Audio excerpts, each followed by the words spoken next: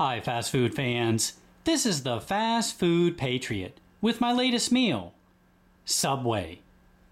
A 6 inch barbecue steak and bacon melt on white bread. The price before tax? $4.75.